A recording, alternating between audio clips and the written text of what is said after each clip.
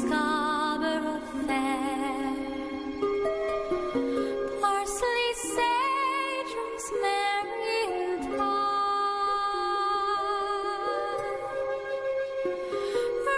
Remember me to one who lives there. He once was a true love of mine.